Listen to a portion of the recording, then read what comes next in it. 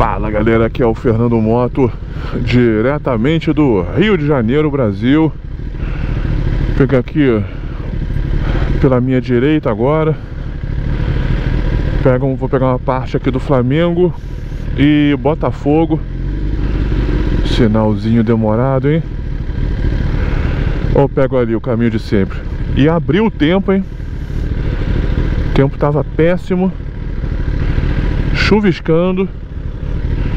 Caraca, cara, que sinal demorado, meu irmão. Abriu até que enfim. Vamos por aqui. Aqui é o bairro do Flamengo. A buracada. Essa aqui é a rua principal. Ai, caraca, do buraco. Sacanagem, a rua principal do Flamengo. Ai.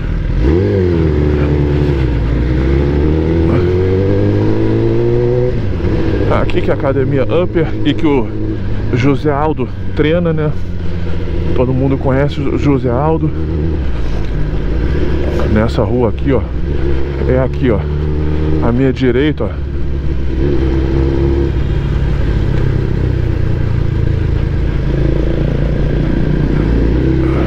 Ali, ó. Aqui, ó, Academia Upper, tá vendo? Ali que o José Aldo treina.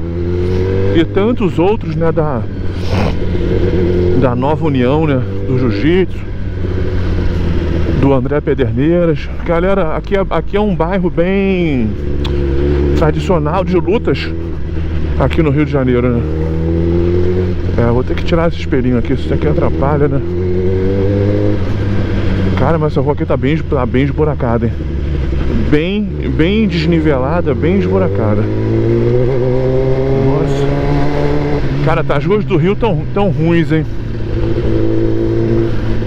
Não é querendo falar mal, mas puta merda, meu. A moto não para de quicar aqui, ó. Tá ruim, cara. É uma buracada sem fim, cara. E caralho. Mais um motivo que eu faço o pessoal. Ah, faço o mesmo caminho. Pô. Mas é que eu faço caminho menos esburacado e mais rápido, né? Faço essa combinação, né, galera?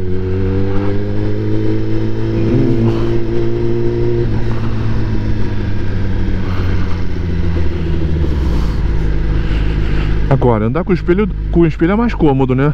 Não tem que ficar virando o cabeção, né? Basta dar uma olhadinha aqui. Dá mais espelho de esportiva que é muito, muito bom. Vai abrir aqui, ó. Bora. Engraçado, o sinal abriu pro pedestre, mas aqui não, né? Aqui, entrando aqui, aqui é a Praia de Botafogo, pra lá é Laranjeiras.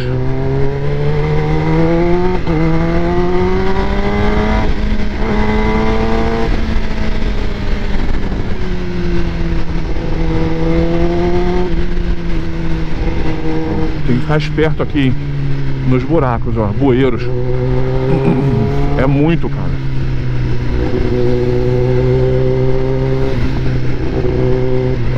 Cara. Eita ferro. Tá porra. Quem diria que abriu o tempo hoje? Estava horrível o tempo. Eu até cheguei a pegar uma chuva hoje.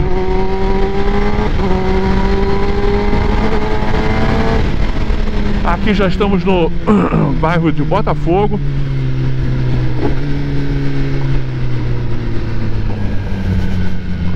Agora é um radar que é sinistro, cara. 40 por hora. Ó, tô a 38 por hora. Olha a sacanagem, tô a 39 por hora. Ó, olha a velocidade que tem que passar. 34 por hora. Não, aí é sacanagem. Esse radar é sacanagem. Ali é a Center Moto. Meu camarada Henrique, Alex.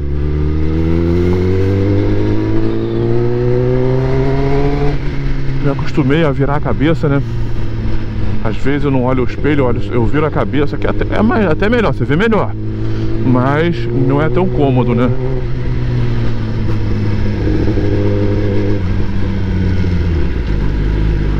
E agora aqui, galera?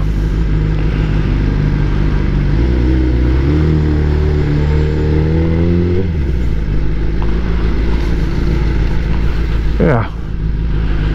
Tem que tirar, tem que voltar na posição do espelho, né, cara? Porque assim tá realmente atrapalhando. Fica ruim de passar, ó.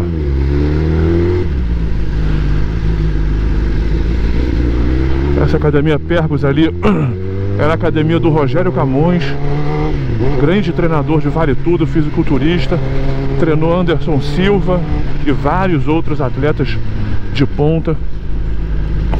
Enfim, aí é outra. São outros assuntos, né? Não é moto, né? Também eu. Muitos anos, muitos e muitos anos, minha vida toda praticamente, né? Eu fiquei envolvido com artes marciais, principalmente com jiu-jitsu. Jiu-jitsu, boxe tailandês e boxe. Então assim, eu tenho um conhecimento também legal nessa assim da história aí do Rio, das artes marciais. Conheço uma galera grande também.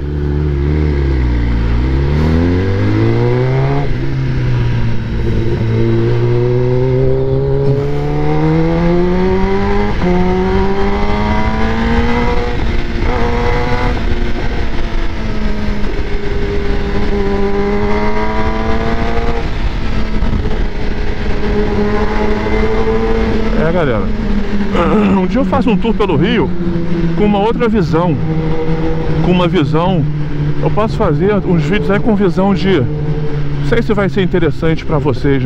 Mas eu posso fazer um, um, uma visão O Rio do ponto de vista mais turístico Isso é uma visão, é uma outra visão Do ponto de vista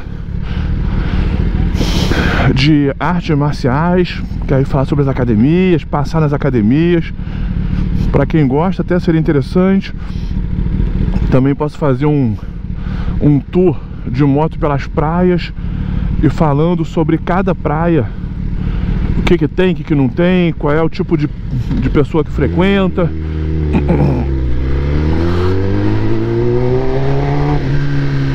Por exemplo, aqui em frente na Princesa Isabel, meu irmão. Aí é só.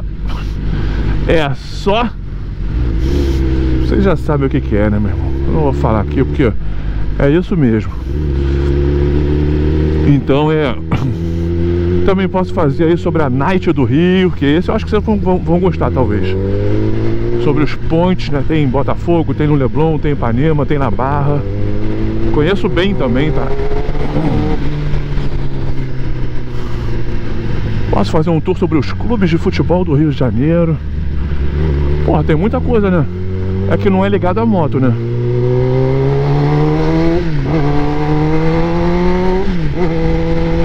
Esqueci, usei, usei a manete, não usei o quick shifter agora. O que esse ônibus quer fazer aqui, né? É, é, mas a moto, mudando de assunto agora de moto é outra coisa, cara. Com menos controle de tração, é muito mais esperta. É, é outro gosto, entendeu? É outro prazer de pilotar. Pra mim, pelo menos, né? Quem quer uma moto mais mansa, aí bota logo no 5 e, porra, vai tranquilo. Mas não é a mesma emoção mesmo. É outra, cara, é outro mundo. Impressionante. Controle de tração menos atuante, a moto fica muito mais bruta. Aqui eu vou devagar, porque sempre tem algum, porra, pedestre que atravessa sem ser na faixa de pedestre. Correndo ainda por cima. Então... Eu, é verdade assim, eu já vi muito, cara. Sem sacanagem, já vi muito atropelamento. Principalmente aqui, em Copacabana. Turista desavisado já vi muito atropelamento, afogamento, a porra toda, cara. Principalmente de turista, né? As pessoas não conhecem, né? Não conhece praia, sai bêbada, correndo pela rua. Às vezes a pessoa não está acostumada com cidade grande, mora, por exemplo, em cidades pequenas que não tem trânsito. É outra, é outra pegada, né? Esse ônibus não devia nem estar tá ali, porque ele não devia nem estar tá ali para ter atravessado.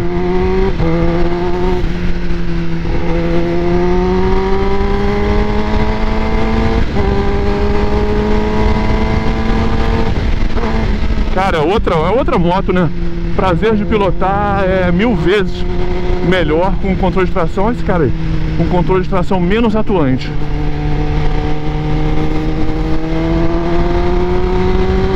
Sei que parece um detalhe, né? Ah, mas, cara, faz diferença. Faz toda a diferença, na verdade.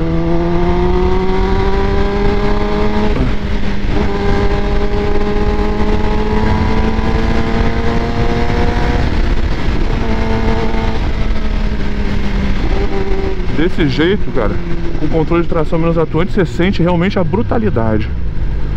Ficar mais próximo das motos super esportivas mais antigas, né? Com menos eletrônica atuando. Eu gosto, né? Agora, hoje em dia, né, com tanta eletrônica, facilitou demais.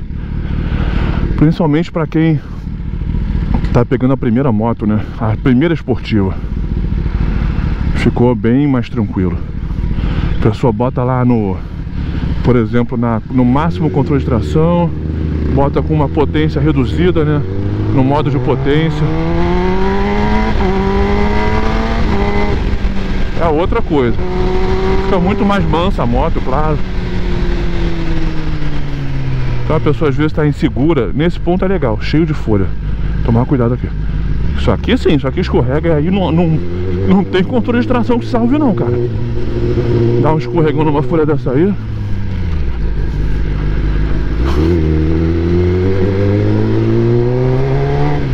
Tá vendo? Cara, Copacabana é foda. Na questão de atropelamento, tem que tomar muito cuidado.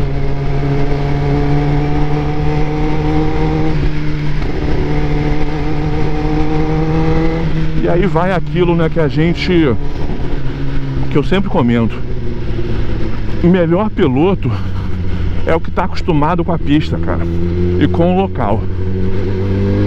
Claro que também você pega um cara que é péssimo piloto e um que conhece bem e um cara que é um piloto profissional, óbvio que não vai ser essa regra. Mas assim, a regra geral é que, porra, a pessoa acostumada com determinado circuito, com caminho, vai ser muito mais rápida do que uma pessoa que não, não nunca pilotou né, naquele caminho, né? Já sabe onde é estão os perigos, já decorou o circuito, é outra. É outro mundo, cara. Falo isso até pela minha mulher. Minha mulher todo dia, anos trabalhando de moto, com a Ninjinha, Ninja 300, ia todo dia lá para pro centro do Rio pelo aterro do Flamengo. Todo dia, pá, pá, pá. Porra, tem uma vez, algumas vezes aliás, que eu saí com uma galera de moto esportiva a gente se encontrou, fomos até o centro. Porra, minha mulher Ninja 300 dando pau em moto esportiva mil cilindradas, cara. Não tô exagerando não, tá? Tipo, direto. Mas dando... ninguém pegava ela não, cara. Porque, claro, a terra do Flamengo você não consegue ir tão veloz assim, mas... Pô, ela tá acostumada a fazer... Tava acostumada, hoje em dia tá menos. Tava acostumada a ficar fazendo curva o dia inteiro lá, entendeu? Mesmo trajeto, mesma curva, pô. Os caras de mil esportivos que não estavam acostumados tomavam pau, meu irmão. Não tem como, entendeu? Não é porque ela pilotava pra caralho, apesar que ela pilota bem, mas não era por isso. Com uma moto menos potente até. É que não dá, entendeu? Mesmo a pessoa fazendo todo dia o mesmo trajeto, o mesmo trajeto, porra. A pessoa decora, a pessoa fica fera naquele trajeto, né? Não tem como comparar. Se pegar até o circuito também, né, cara? Track day, né? Uma pessoa que tá lá todo dia naquela pista lá, que já decorou tudo, cara. Pô, difícil bater, bater o tempo dessa pessoa, entendeu? Claro que você pega depois um piloto melhor, ou com uma moto melhor também, treinando um pouco, vai conseguir fácil. Mas assim, inicialmente,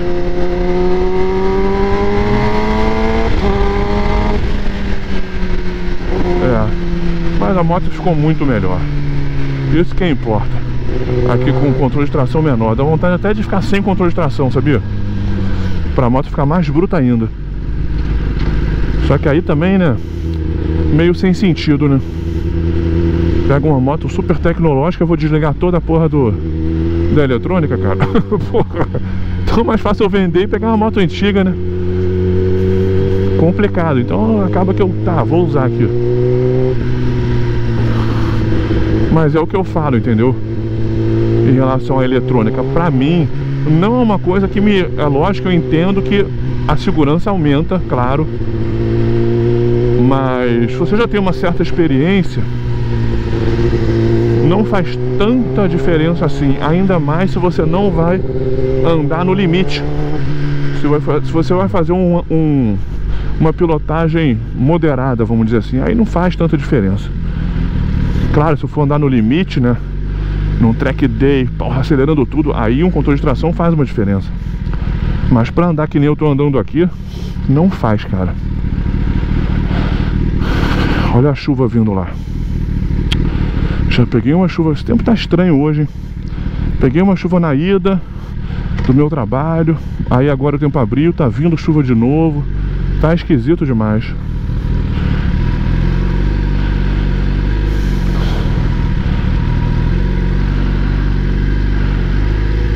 Abre sinal. Abriu já lá na frente. Aí vai abrir esse e vai fechar o outro. Que aí eu vou ficar no outro sinal, será? Porra. Só falta essa, né? Não tem sentido. Sinal desincronizado. Aí eu passo ali e tomo uma multa. Abriu. Que caralho. Comi mosca aqui.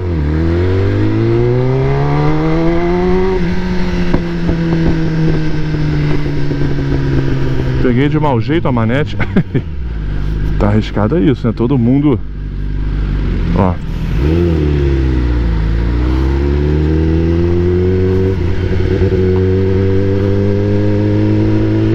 Você vê a quantidade de folha que tem na pista, né? Você mostra como é que tá ventando. Ó o ciclista, galera. É, eu não vou falar mais nada não, depois eu sou chato. Mas o cara ali, porra, cara, o ônibus quase atropelando o cara. Complicado, entendeu? Ainda mais de fone, cara.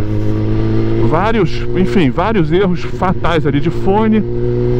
Porra, grudado no ônibus. Sem nenhuma sinalização na bicicleta. Podia ter um pisca vermelho ali. Enfim, sem capacete no meio do trânsito. Cara, um monte de situação que não é legal, entendeu? Cada um sabe de si, né?